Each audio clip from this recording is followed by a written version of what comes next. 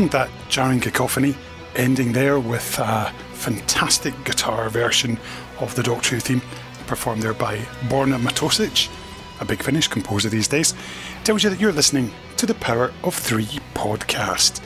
We like to travel through time and space, looking at everything and anything related to Doctor Who. Today we're having a look at books. I'm Kenny Smith, and oh, there's nobody here inside this Power of Three magic TARDIS. But don't worry, we'll get by. We'll get by because I'll have some friends popping in before very long.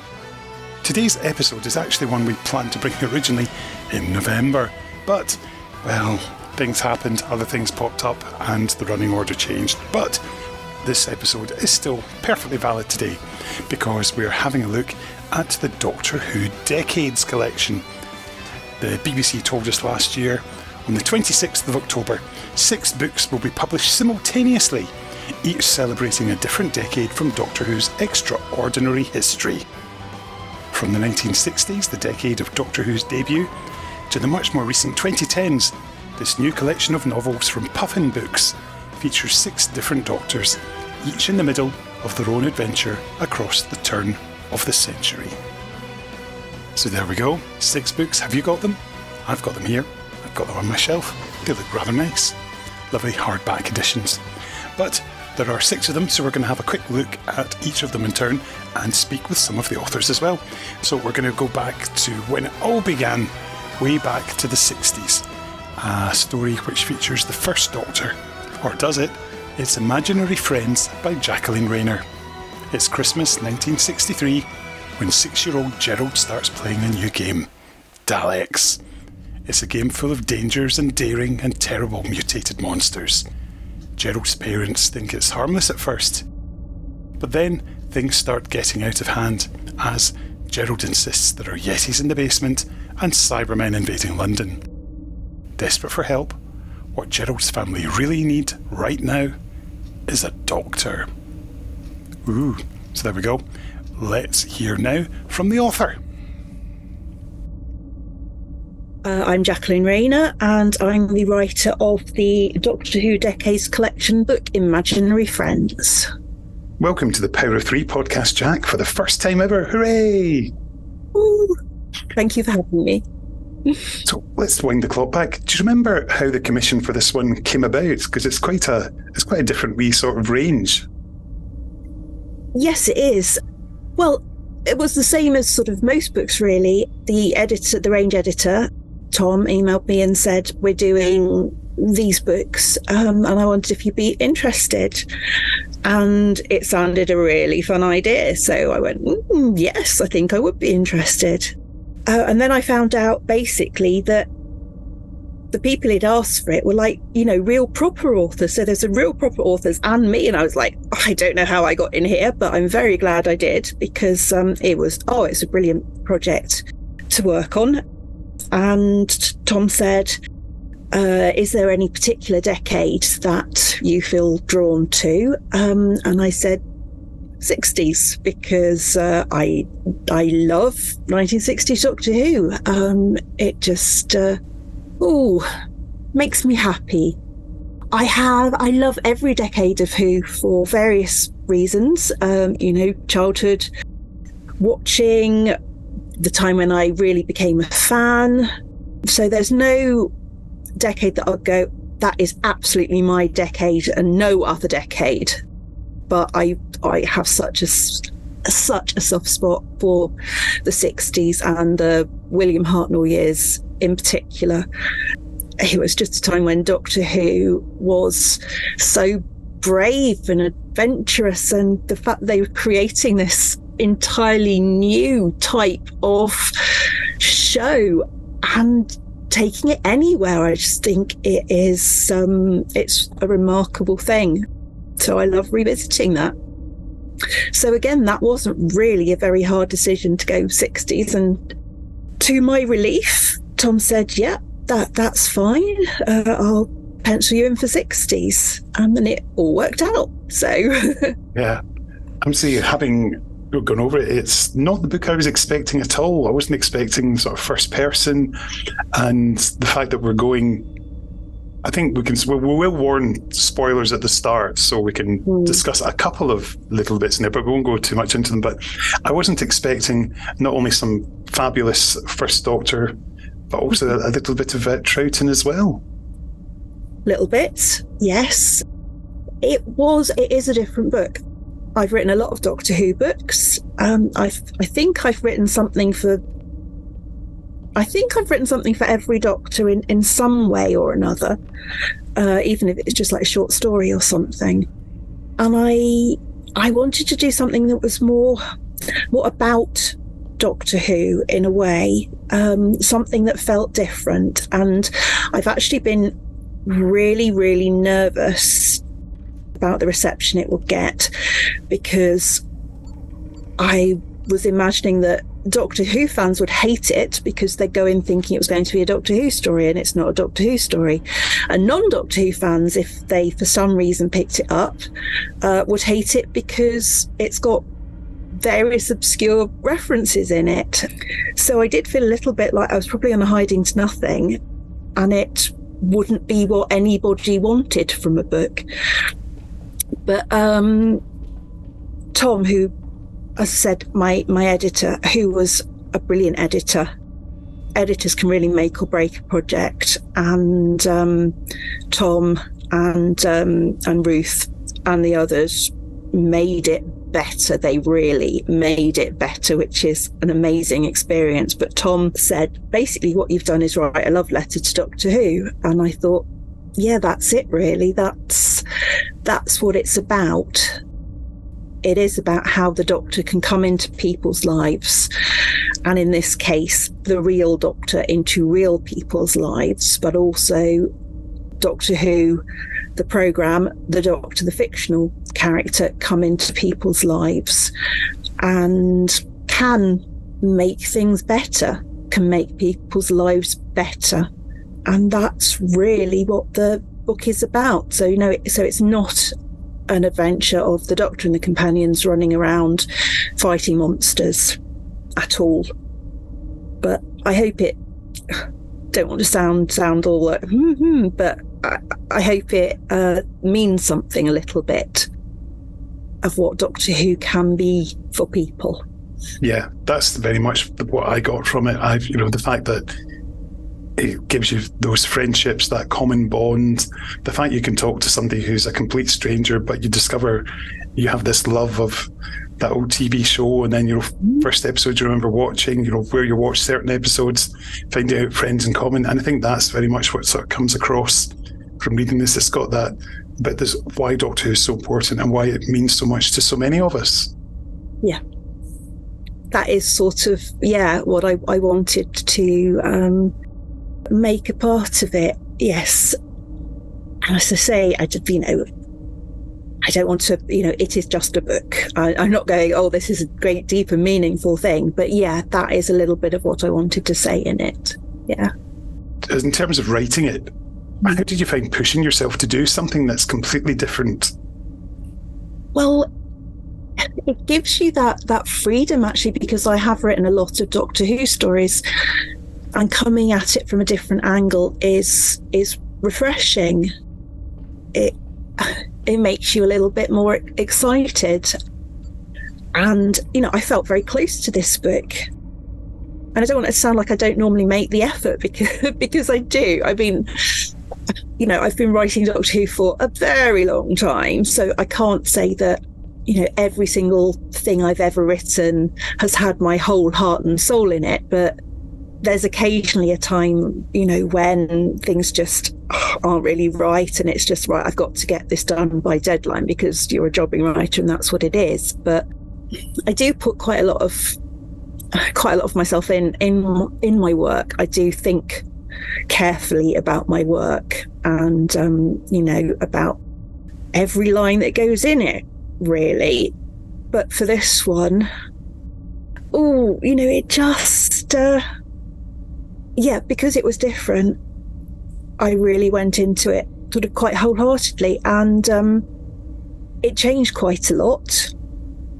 And uh, to start with, it still had the family in it, but it, it was quite a different story. It wasn't uh, necessarily so uh, so real. As I was, I was talking to you before we started recording. I have had a quite a difficult year, very busy and um, quite unwell during this year.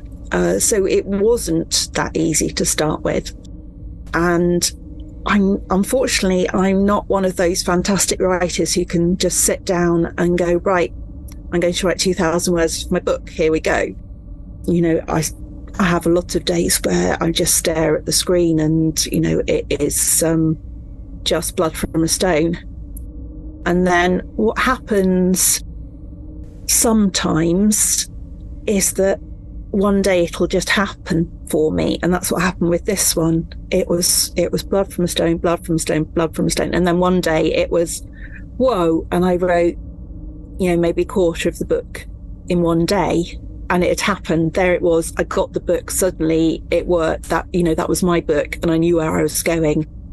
And after that it, it was not only okay i'd you know i really knew what i was doing with it again, it still wasn't the the final thing. I'd been a lot a lot less um, obvious about the Doctor Who bits in it, by which I mean uh, the links to actual Doctor Who stories, because I didn't want it sort of to be too too off putting. But I had notes back saying, no, we, we really do need this sort of explained a bit more. And again, it was completely the right note.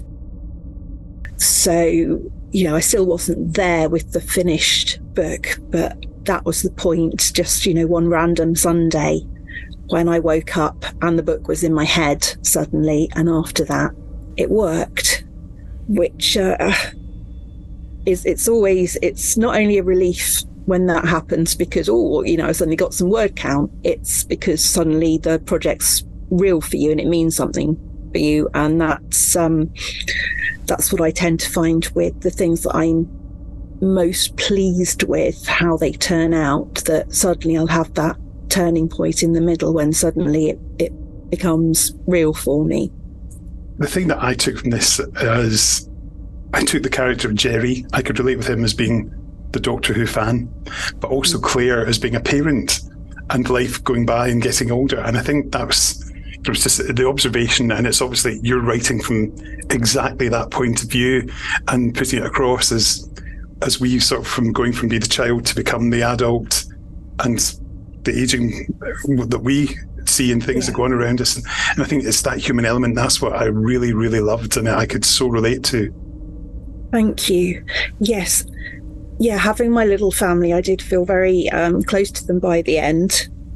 And yeah, I'm not I'm not Claire and I'm not Jerry, but yes, there are parts of me that obviously I used. So as you say, the um, the being a parent and the aging and growing up and suddenly having to be an adult and all that sort of thing is uh, something that uh, yeah I am experiencing. But I can there's also a lot of bits of Jerry that I can um, can relate to from when I was a child. But yeah, neither of them are me. But yeah, if you if you can't put sort of little bits of yourself in occasionally, then uh, yeah, it, it it helps. Yeah, if you if you have some links with between you and the characters, you know, not always, I've written some very horrible characters that I, I hope I haven't got a huge amount in common with. Uh, Murdering but, triplets uh, in Earthworld, for example. Oh golly, that is a very very long time ago. Yes, that was yes that was my first Doctor Who book. So, uh, I mean, you know, I, I can no, I'm not going to say on a podcast that I can see myself murdering someone. Uh, no, that is not a thing no. that I would do. Thank you. but I would say I, I think as a celebration of 60s Doctor Who, it ticks the boxes. As a good book to read, it ticks the boxes. And it's something that you can emote with as well and relate to. It absolutely ticks my boxes. So I suppose, yeah, I'm your target audience. You win. Hooray! Thank you. Let's hope there's another million out there who feel exactly the same. That'd be nice, wouldn't it? Yeah, Sunday Times bestseller, Jacqueline Rayner. It's got ring to it. Oh, oh. So, but, well, we d- we did actually get there when we did the um the, the first new series novels. That's true. Uh, Best-selling we Doctor Who book ever, aren't you? The, the Stone Rose. I am. Yeah, Stone Rose was number one uh, Sunday Times bestseller, and um, yeah, for those first few releases, when they were doing the three books at a time, you know, the one past, present, future ones, yeah, we were one, two, and three in the bestseller lists for the for the first few of them, uh, which was uh, unexpected but lovely. But I mean, you know, it wasn't it wasn't us. Uh, I I don't think uh, you know Stephen Justin and the others would mind me saying that it wasn't because it was books by us. Obviously, it was because it was uh, Doctor Who books, and um, everyone was so absolutely in love with uh, with Russell's new version of the show. That's uh, that's where that came from. But it was still nice, I tell you. so, looking at this one now, quite proud of it. I think you should be. Thank you. Thank you very much. Yeah. uh, yeah, it, it feels sort of in a way like it should be my swan song, like my, my end of my Doctor Who writing. I'm shaking my head, listeners. and I, would always I'd always said uh, with with my children, you know, one day when I am, you know, less busy and and less poorly and so forth, I will do my big breakout novel, and uh, you know, and that will be the thing I will dedicate to my children. You know, um, but I'm, I'm I'm not saying that that will definitely never happen, but that will probably definitely never happen. But what, because I did feel very close to this book, I thought, oh no, this is the one I'm going to dedicate this one to my children so that sort of gave it another little level for me. If this is the book for my children, yeah. If you don't like it, you hate me and my children. it's beautifully uh, put at the start to fan twin and non-fan twin. Beautifully put. I think it's the other way round, but yeah, yes. Weirdly, actually, uh, for people who um, knew the boys back when they were fan twin and non fan twin, it's changed completely. And um, fan twin, you know, still Doctor Who's okay, but non fan twin absolutely loves it. New series, he's mm-hmm. a big new series fan, particularly uh, David Tennant. So he's very, very excited for, for the new stuff, although he's also incredibly excited for Ncuti Gatwa as well. Yeah. Um, but yeah, he he watches it all the time because you can do that now because you get you know you can watch Doctor Who on your phones. It's amazing. Yeah, the space year 2023. Who'd have thunk? I know. And yet he's absolutely a massive, massive fan now. So they have, uh, they really have swapped. it's brilliant. I love it. Oh well, sadly my Katie's not really watching as much these days. But I think with the return of David, I think she'll probably give it another go. So fingers crossed.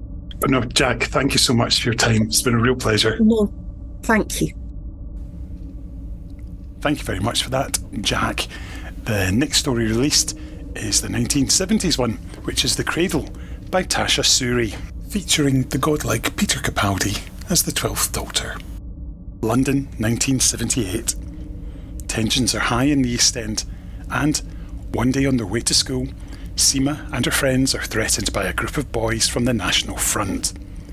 Fearful for their lives, the friends find themselves saved by the appearance of a mysterious, seemingly broken down bus. Inside, it's like nothing they've ever seen. What is this strange place? The tall, grumpy man with white hair might know the answers. but he seems just as scared as they are. So that's the 70s story. Now we'll move on to the 1980s The Self Made Man, which features the Fourth Doctor, and it was written by Mark Griffiths. Midnight, 1984.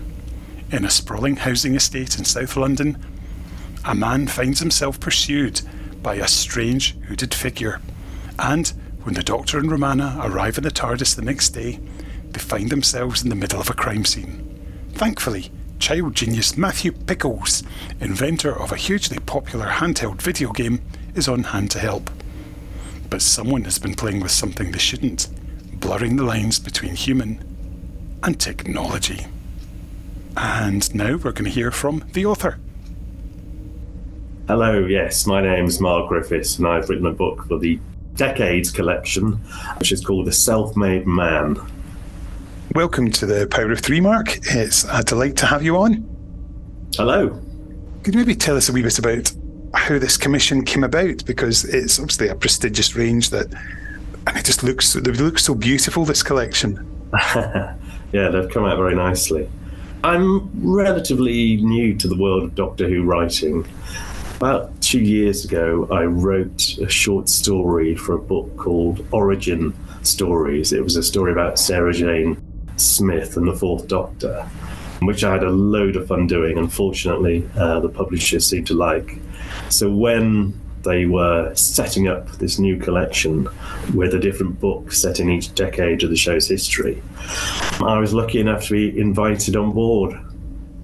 I take it then, you said that you're a newcomer to Doctor Who fiction, but is it fair to say that you're a fan of Tom Baker's Doctor back in the day?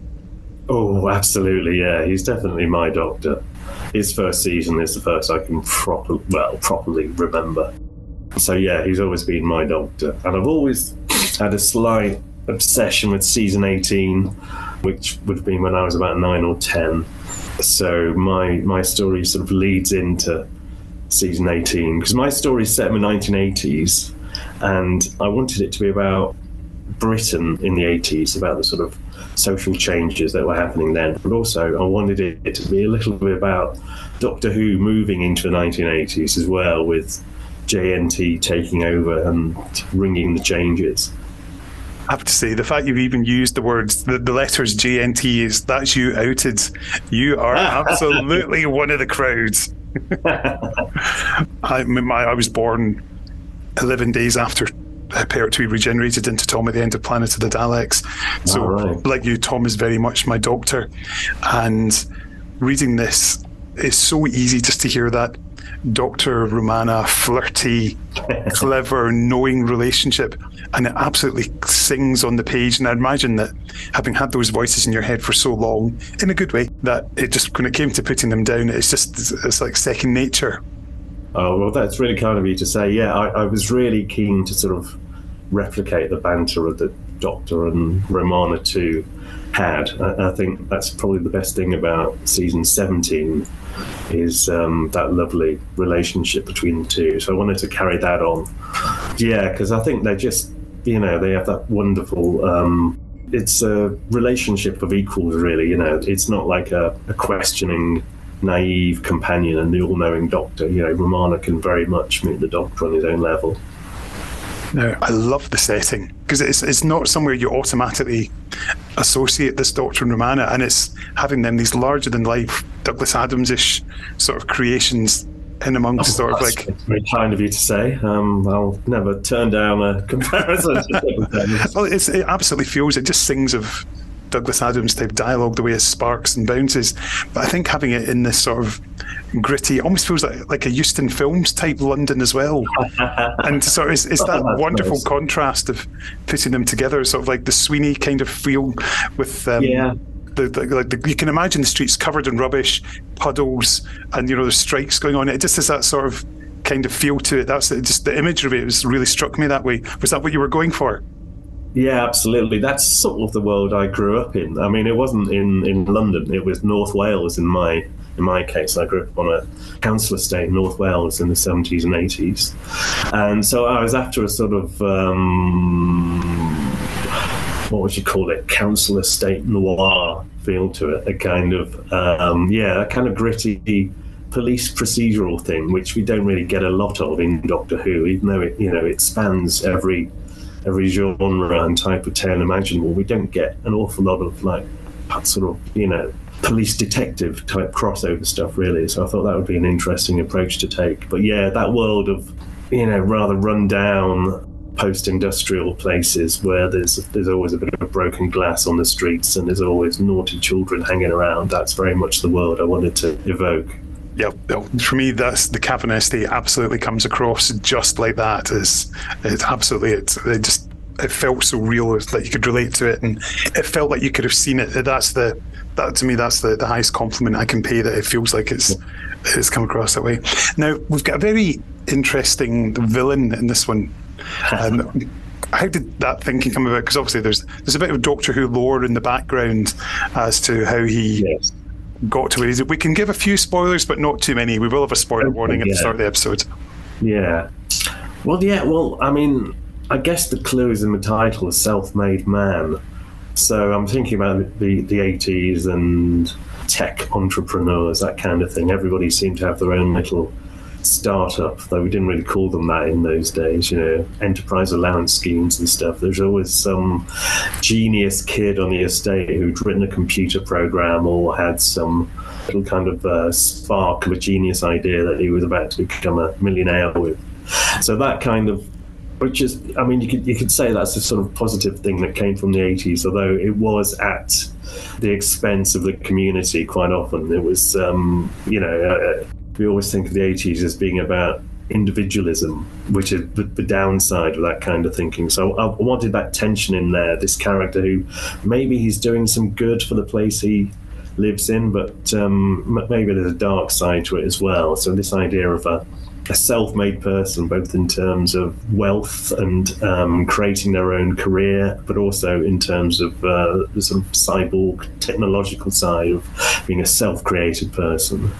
Yeah, because I think that Matthew very much feels you, you feels like you could have known him or somebody like him back in the day, and I you know I like that sort of that sort of quality that that we can we can relate to him. We know where he's come from, almost like a like a young Alan Sugar type, or, or younger, even younger than Alan Sugar. Yeah, that's the kind. I mean, that's the kind of thing I was I was trying to evoke there. The um, kind of young, enthusiastic person who has no compunction about trampling people who get, get in his way to succeed. no reference to Mr. Sugar there, obviously, to Lord Sugar. No, not at all. The fact that his name's uh, Matthew Artificial Sweetener is absolutely nothing to do with it at all. I do jest, of course. So, how did you find the writing process with this one? Because obviously, with your, your own books, you've got that creative freedom, but here, obviously, you're working within the Doctor Who yeah. parameters. Um, it was i mean I, I, guess like any writing job it was hard but it was fun that's the that's what writing should always be it should always be really hard but it should always be fun as well i've been pleasantly surprised with the two things i've done for doctor who with, the amount of freedom i've been allowed i thought I would be a lot more constricted in the types of references I could make or the story I could tell, but pretty much I've been allowed free reign, really, which has been brilliant. For instance, I I mean, when I did the origin stories thing, I had the pick of what companion I wanted to use. I went straight for Sarah Jane Smith, and with this again, I had the pick of the Doctor. So I went, I zeroed in on the fourth Doctor, and um, the, the 1980s time frame, thinking I'd kind of I'd lived through both, so um, I, would be able to mine my own memories there, you know, which is always a preferable to doing lots of research. Did you do a bit of research into the 80s just to look what was around in particular years? And obviously, around 1984 yeah, here. I mean, yeah, because we're set in 1984, which is a year I have very strong memories of. Um, I remember the music that was around then. Frankie goes to Hollywood. Um, in fact, I'm seeing Holly Johnson in Liverpool a week on Friday. Fantastic. Um, yeah, which should be should be brilliant. And in the book, we have Romana wearing a Frankie Says Relax T-shirt which is a nice 1984 crossover. Yeah, I sort of, I mean, I had to just check certain things just to make sure that things like songs that were in the charts and stuff like that, that I was in the right general area because I think we're set in. Uh, so the kids are on school holiday, so it'll be August 1984 which I guess I just had to check just kind of historical events and um, chart hits just to make sure I wasn't veering off course. But I could I could remember that time pretty well. Yeah. And what was your highlight from the whole writing process? Well, I, I mean, I guess it's writing with Doctor and Romana. You know, it's doing those that you kind of have always dreamed about, like just just writing "said the Doctor" is a thrill after you've thought of some amusing line for him, you know, and to try and evoke a performance out of the imaginary Tom Baker in your head. You know, ob- obviously there's the whimsical jelly baby offering side of him. Uh, but also, one thing about Tom's Doctor was that he could be marvelously shouty. He could come out with these marvelous impassioned speeches. So I thought, yes, I'd have to get at least one of those in there as well when he's confronting the birdie. It's fair to say that you had a ball doing this, so you must have uh, a few more Doctor Who ideas up your sleeve. Oh, absolutely, yeah. I mean, I've got I've got lots and lots of ideas. There's going to be some some new project, hopefully that I'll be involved with coming out from Penguin. Although they haven't given us the official brief yet, but I've got I've got a story idea in mind, which they told me they quite like. But we haven't had the official brief or anything Yeah. through yet. So, so that's all sort of um, to coin a phrase. Stay tuned. well, I'm surprised and delighted to hear that. Oh, we fans, we have our jokes. So, for those who are looking for a wee bit more information about your other work, Mark, where can people Yeah. find you? Right. Well, um, I'm, I'm a slightly split personality when it comes to writing books. I've done a bunch under my, my own name, Mark Griffiths. So I've, I've done, I think, four, four or five children's books under that name, which are generally humorous sort of science fiction adventures. Like my first book was called Space Lizards Stole My Brain, um, about an evil alien lizard warlord who swaps his brain with a ordinary ten year old schoolboy and finds living the life of, of a schoolboy even worse than being an intergalactic lizard warlord. Yeah, so I've done done a bunch of things like that, and I've done some children's books for Bloomsbury, which I write under the name of Mark Powers. So I did a series called Spy Toys, which is about three robot uh, reject toys uh, who get recycled as crime fighters. There's a teddy bear who's uh, too strong to hug. There's a rag doll who hates children. And there's a sort of paranoid, technology obsessed ex police rabbit. And they're brought together to form uh, the team Spy Toys, uh, which quite excitingly, the film rights have been bought by DreamWorks for that. And I heard recently that the wheels might slowly be beginning to move on that, which is very exciting.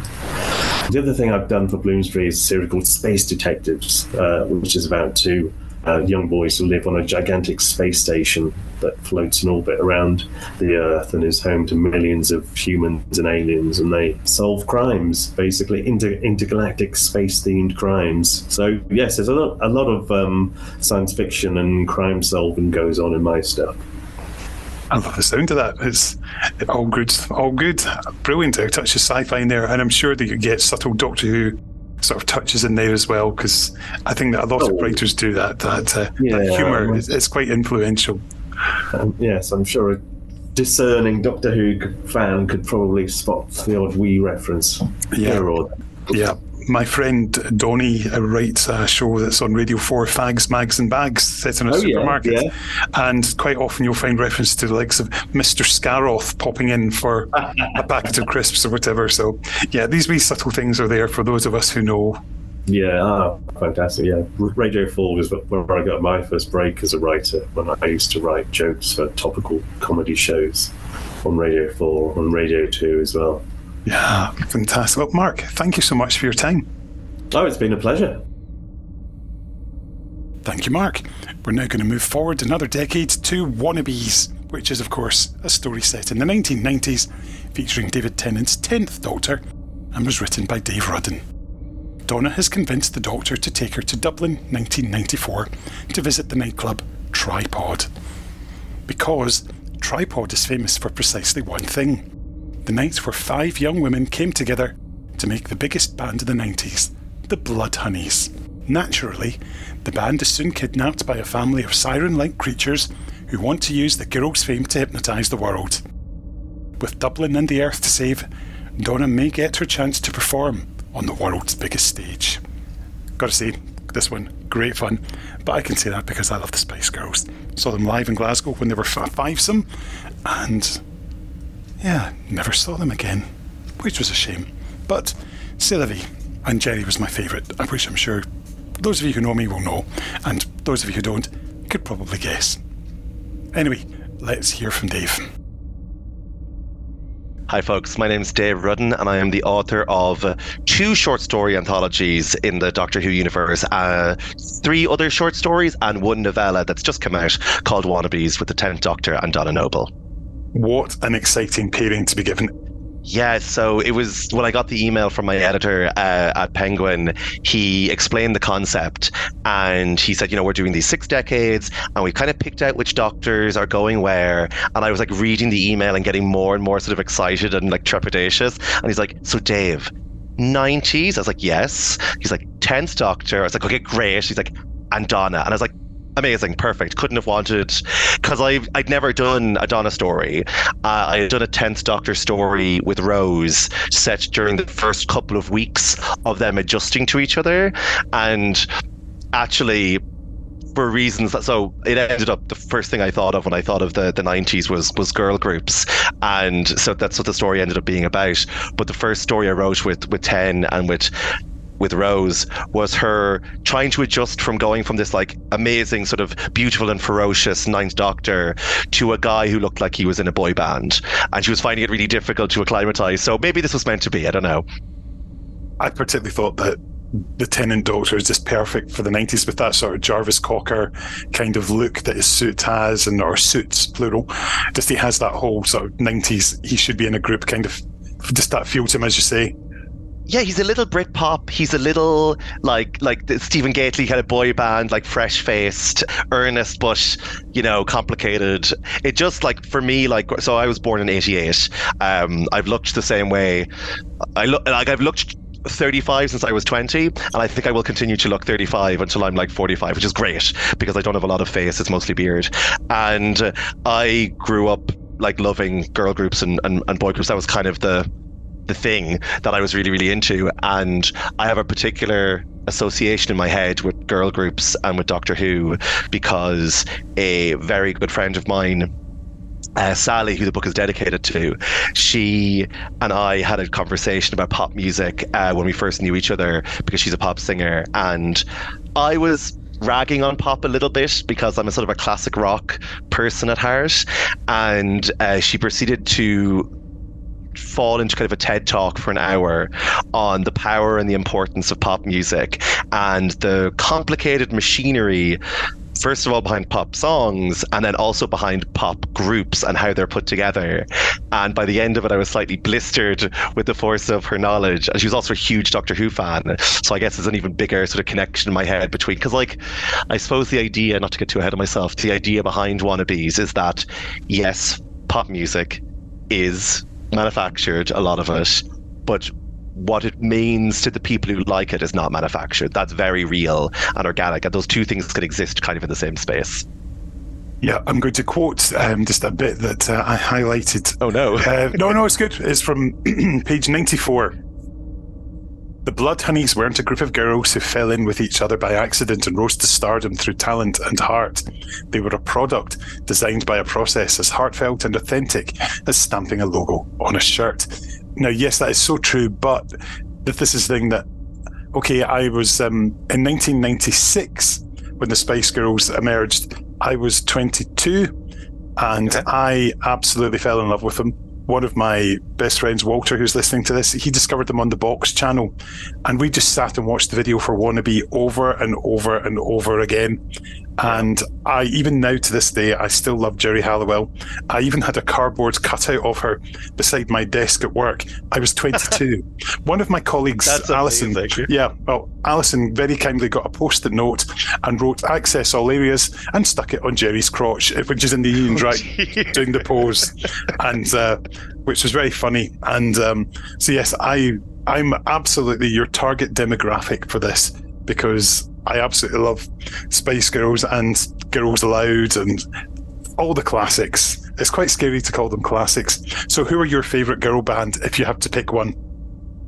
So I was deeply in love with All Saints because they just seem to have a very different vibe, almost an indie music vibe, uh, particularly with their music videos. Like I was big into watching music videos and because there were these little like essentially short stories. Like, you know, Wannabe, you can watch every frame of Wannabe and a story is being told. And I've had a long I've written like one music video, which I was very proud of.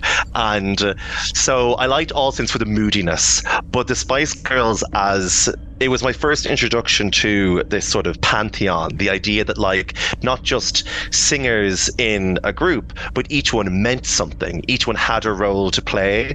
So you had your uh, you know the charismatic one who is not the best singer but the, the one who is like the mo the sort of like you know has the has the sort of like majesty of a star on stage. And then you have like the singer and you have the dancer. And i uh, these these terms were sort of solidified for me when i talked to sally about because she consulted on the book uh, very importantly. And she was like and you know and then you have the one who's in the group and you're not quite sure why but they're there because five looks better than four basically and so yeah with like like i loved the spice girls loved um B*Witched as well um an irish band that um or group that came along maybe a couple of years after. Uh, I was more Boyzone than Westlife, um, and then I had a, like a soft spot for the kind of flash in the pan boy groups that had like a song and kind of disappeared. And like I'll say that, and someone will write in saying, "Well, actually, Dave, they had many complicated albums, and you just didn't sort of." I think when you're like, because I was, I suppose I was like 10 or 11 and you i didn't have i grew up in a tiny village um, there were more people on the zoom call than in the village that i grew up and so i didn't have like access to outside like like Donna in the story mentions being on the forums and things. Well, I had no access to any of that. So if a group didn't pop into top 30 hits, which is this Irish show that covered the hits, as soon as they left that show, it was like they totally vanished. And so I think one of the reasons Spice Girls is so ingrained is I think they sat at the top of the charts for 13, 14 weeks. Like so much so, it was incredibly jarring when they left because we always knew they'd be number one. And then they were knocked off, I think, by the Prodigy Firestarter, which tonally was so jarring to 11 year old me um, that I resented the Prodigy for years afterwards because, like, what is this black and white nightmare fuel when my girls have gone? So, I mean, Spice Girls were kind of the OG for me, basically. Yeah. Were you ever a fan of Six with Nadine Coyle before she had to leave? This is me showing my Irish oh, girl group knowledge. I'm really quite sad this Travis. way. um, six were six were good. I remember seeing six, and I but I also like there was nothing about six that stood out enough for me that I was like, yes, this is a good example of the genre, but there was nothing weird or odd that sort of jammed in my head. Basically, no offense to them. Um, but no, yeah, they weren't. Were you, were you a big six person? I, I quite liked the first couple of singles, but then after that, they sort of just flopped away. But um, yeah, I was I was aware of their work, and uh, particularly the yeah. Nadine controversy. It was one of those ones that, following uh, online back in uh, early internet days, it's still early internet, well, late nineties, early noughties. So yeah, it was always always good fun. But at least I was glad when Nadine appeared and obviously made it into Girls Aloud. So yay! She got her moment. Yeah, I mean, like like one of the one of the reasons that um, Wannabes is set in Tripod, uh, the nightclub in Dublin, is because that's where the Boyzone auditions were held. And like I was, I was too young to have been advertised to in these, much like Nadine, but. um the idea of all these people lining up and hoping for this moment of, of stardom and like trying to uh, trying to make it big just feels very like thematic along with like you know the doctor shows up and finds somebody and brings them out into the wider universe and and those people do shine brightly as stars sometimes briefly. And so maybe my brain was making a little connection between that and like these hopefuls trying to get into Boyzone. Although I will say I put a lot of effort into trying to make it trying to make the novella accurate and I did a lot of like research on what Dublin looked like in 90 in 96 and I spoke to a few people who had gone to tripod and been to tripod at that time and I was really proud of the amount of work that I'd done even even if there's a bit where a bunch of roadies are I'm, I'm not a musician but there's a bit where a bunch of roadies are having a conversation. And as far as I could make it what they talk about before the doctor interrupts them with his own idea of like what a good sound system is is accurate. And I was really proud of myself. And then it went to print. And a week later I was at a wedding. And I was talking to the groom who didn't know very well, and he just offhandedly said, "Oh, you know, it wasn't called tripod in, in '96," and I was like, what? He's like, yeah, yeah, it was called something else. And apparently, I like grabbed him by the lapels at his wedding and was like, but we've gone to print. Uh, so there's one glaring mistake in it, but you can call that timey wimey. It's a different timeline. Something, something. It's, It's, the okay to effects of the Time that War. That's what it is. If in doubt, blame it the Time War. Oh, exact, hundred percent. It's faction paradox. They just completely ruined everything. It's grand. Get away with that. Oh my Um, goodness, you've just completely outed yourself with those two words there, saying faction paradox. the my favorite like like I never claimed to I wouldn't even never claim to be an expert on Doctor Who, but the little thing I love like revealing to people who are really into into Doctor Who is my first experience of Doctor Who was reading Alien Bodies by Lawrence Miles. And it's a wonder I'm still alive. I was like 14, 15. I was like, oh, this looks like, like an interesting novel. And I read it, and I by the end of it, my brain had leaked out my ears. And uh, yeah, so like, you know, caught up with everything else in, in kind of college and things like that. But it was a very strange a very strange introduction for a rural Irish teenager. Yeah, I'm, I do love it. I always love the fact there's uh, effectively uh, a character who's somewhat, you could say, is akin to a Louis Walsh type manager type person in there as well. Because I'm not going to lie, I heard him saying every single last line. All that was missing was, you remind me of a young villain, whoever it may be.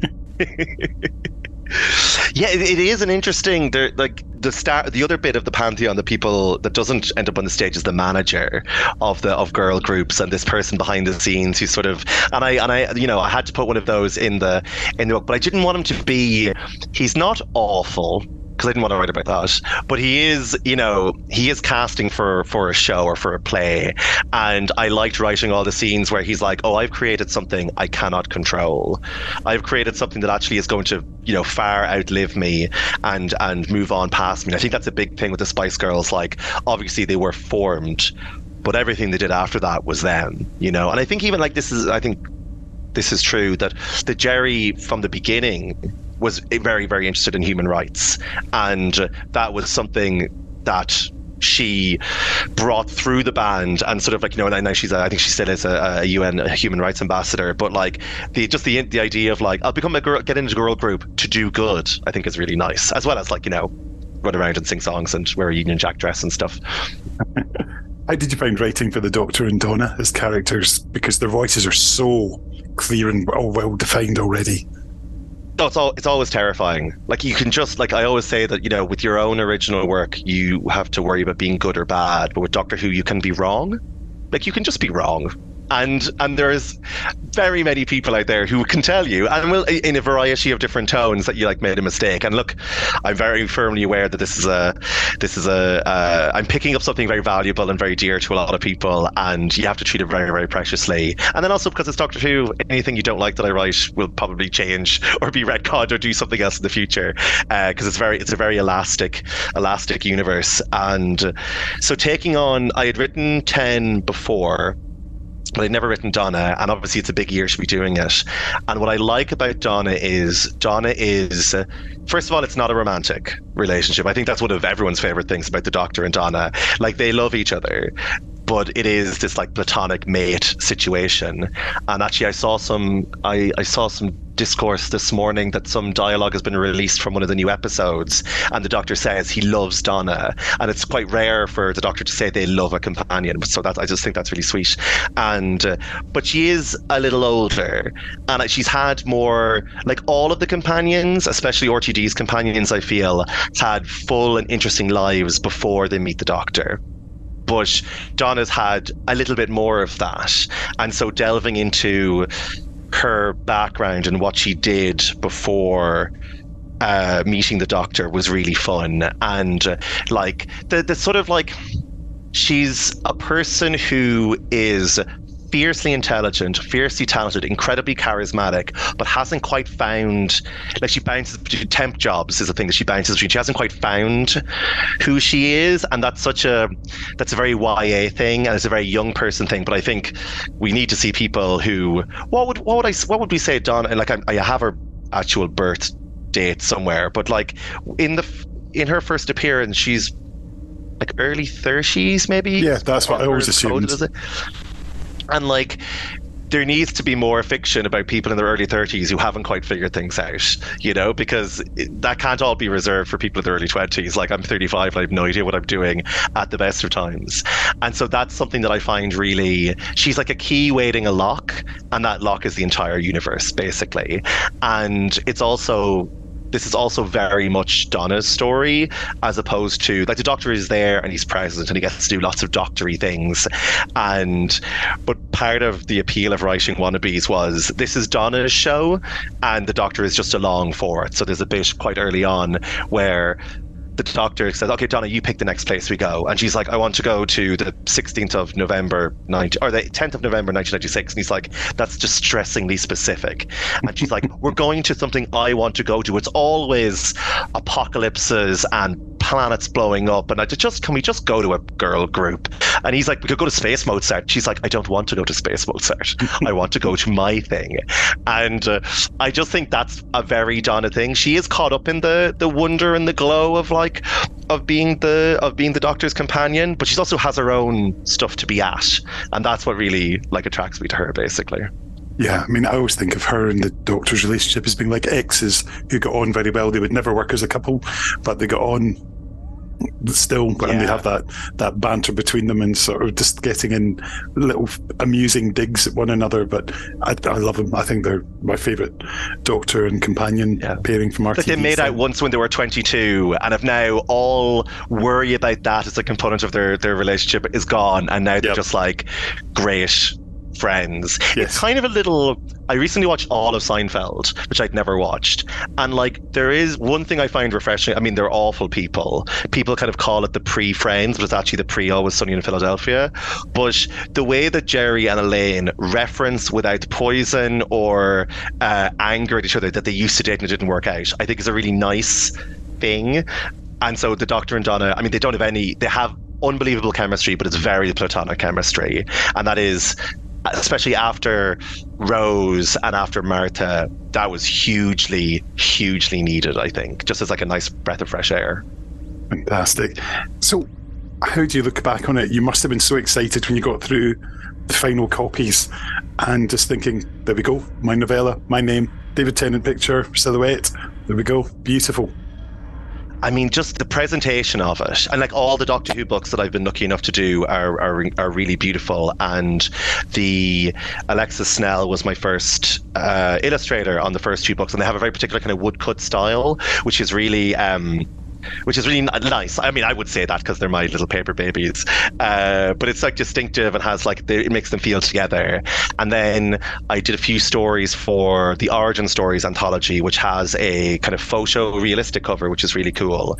But this is like a, a thing, you know, they're all stylistically hardback and very beautiful and like strange in their in their covers, very kind of futuristic. Um, the design team did an absolutely incredible job, and I got to meet um, the head designer at the Puffin Summer Party, and I just like fanboyed over him because what he had done was so amazing. And seeing your work beside other people's makes you feel like you're like I always feel with Doctor Who, I'm like adding a tiny room onto an already existing house. And, you know, I have my own little contribution beside all these huge, incredible, complicated, complicated um, uh, additions. But feeling like I'm part of a gang is really cool. Like the six of us, and I'm working my way through them. I haven't read them all yet because I'm sort of I just got my personal copies the other day, but it just feels really nice to be a star in a constellation, and it's kind of a snapshot of the year that it is, you know. So that is, it's really. And like anytime someone hands me a book that I wrote, and they go, "Look at this thing that you made and it's real," always feels really. I still can't believe this is my job. you know, like I'm so perpendicular to being good at things that like having having my name beside that logo is never going to get old. Definitely not. Tell us about some of your other paper babies and where people can find out more information about your other work. Yeah, so my my first books were a, a young adult trilogy that I would say is very tonally inspired by my love of Doctor Who in that it is they're irreverent, um, they're quite scary in places. I hope the main character is somebody who is. Uh, maybe not your usual kind of main character and his and his and his thing is em- empathy and caring and trying to fix things he's also very anxious because i am and you can find information about them. They're published by Puffin. You can find information about them on daverudden.com, which is my website. And then it was just before they came out. I was at a dinner with some penguin people. Uh, people who worked at Penguin, not some weird sort of alien. I was just thinking that'd be fantastic. just like well, my mom God bless my mom is a, is a very nice country woman, and she was like when I was going over to meet them first, she was like, "And will you meet Mr. Penguin?" And I said, I don't know if there is a Mr. Penguin, ma'am, um, but I'll check. So it was a few weeks before uh, Knights came out, and I was at dinner and I was talking to um, the woman in charge of the tie-in books at at Penguin, and she uh, was chatting about Doctor Who, and I was like, I love Doctor Who, and she's like, Oh, you know, we produce those books. Would you like to write? And then my editor jumped in between us and was like, Not until he's done the trilogy, and so like true to form, a couple of weeks after the third book came out they asked me to write an anthology of short stories, each one about a different monster. So that's 12 Angels Weeping, the first one I did. Um, and also Christmas. They were like monsters and Christmas. And I was like, sure, I can jam those two things together. And then I did The Wintertime Paradox, which features the only new Who appearance of a particular faction that is very dear to some people. Well, a fraction of a faction, a cover, ba- my little cover band version, and then I did some things for Origin Stories as well. So that's everything that I've done. That was a long rant. Apologies. No, no, it's great. I think uh, we always like to encourage people to check out our guests' other work and go and find out about it and pick out more please do. I have nappies to buy for my child, so please do read my stuff. That would be good. Yes, not just read it, buy it buy it. Well, libraries are great as well. That's know, true. No harm to have a copy on the shelf. Exactly, because then you can go back to it again and again. Annotate it if you like. Write all over it. I don't mind. And then buy another copy so you've got a clean version and give one to a friend for Christmas. Yeah, two friends. Oh, you know, friends. friends. Family. 15 doctors, you know, whatever you need. Exactly. Fantastic. Dave, it's been brilliant. Thank you so much. That's my pleasure. Thanks for having me. So there we go. Thank you very much, Dave. The 2000 story is The Monster in the Cupboard, written by Kalynn Bayron and features Christopher Eccleston's Ninth Doctor. Lily thinks there are monsters in her house hiding in the cupboard, and when a chance refuel lands the Doctor and Rose right on Lily's doorstep, they both agree she needs their help. When asked about the monster, Lily can only say it's made of immense light and power, and, what's more, it's taken her mother and brother. It is a search that will take them from the Cardiff Rift right back to the childhood of Lily's grandmother and another disappearance all those years ago. The final release in this, bringing us up to date ish, is the 2010 story, The Angel of Redemption by Nikita Gill, and unsurprisingly, it does feature the Weeping Angels. A poem of tragedy and beauty. The Weeping Angels are an ancient race of terrible power. Their true form is a mystery, they wander the universe, curse never to see one another, but they see everything else. The course of time and space, and even the journey of their deadliest enemy, the Doctor. One angel is different though. One angel looks through time and sees so much more. Sadly, haven't been able to get hold of Nikita to have a chat, but we'll give you a very quick sample of one of the chapters. This is a poem called Fear, as the whole book is told in the form of poetry. There is a certain smell to fear curdled milk, rotten apples, a flavour in the air, acrid, clammy, cold. Terror always knows how to announce itself, despite its best efforts, and everywhere it hides. It is not very often that we hunt one of our own, but if one of our own gets in our way, then that one of us must die. There you go, a wee bit of poetry to finish off today's episode. So, Doctor Who, the Decades collection is available now, published by Penguin or BBC Books, and they're priced at £12.99 each, and they're all available as hardbacks. You know us, we like to go with a tune, and I think it's quite obvious what we're going to be going with based on what I said earlier. Yep, you're absolutely right, because I love the Spice Girls, and if you take away one letter from the title of Dave Rudden's book, you get the title of the song we're going to play out with. Yep, we're going to go with the Spice Girls and Wanna Be. We'll be back on Thursday, assuming that you're listening to this as it drops, and it'll be myself and Dave, and we're going to have a special guest whose name appears in a few Doctor Who episodes on the telly in the classic years. But who could it be? Stay tuned, and there's a clue. Bye bye.